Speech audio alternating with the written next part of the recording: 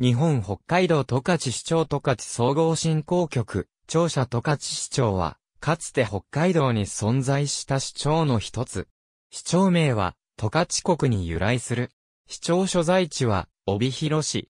2010年4月1日、十勝総合振興局に改祖。道内における、十勝市長の一以下は、帯広市を中心市とする、都市雇用権の変遷である。一般的な都市圏の定義については、都市圏を参照のこと。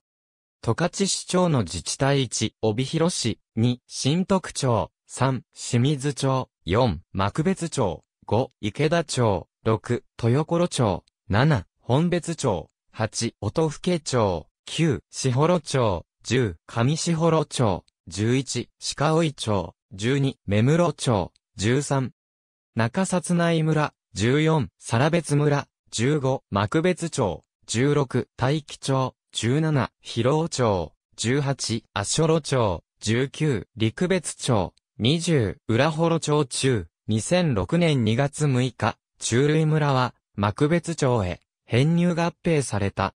畑作や酪農を中心とした農業が非常に盛んで、北海道一の畑作地帯である。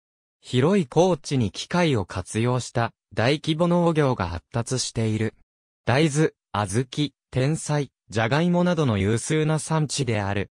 カロリーベースの食料自給率は1100%に達する。乳製品や食肉、小豆製品などは十勝産を売り文句や商品名に盛り込んでいるものが多く、一種のブランドとなっている。また、菓子の材料となる砂糖や小豆の産地であるため、製菓業も盛んであり、六花亭、龍月など、全国的にも有名な菓子メーカーを多数用している。十勝毎日新聞の購読率が非常に高い。北海道内では圧倒的なシェアを誇る北海道新聞も十勝地方では大きく水を開けられている。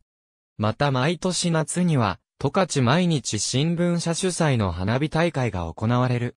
これは全国レベルでも最大級の花火大会であるため、全道から多くの観客が訪れる。ありがとうございます。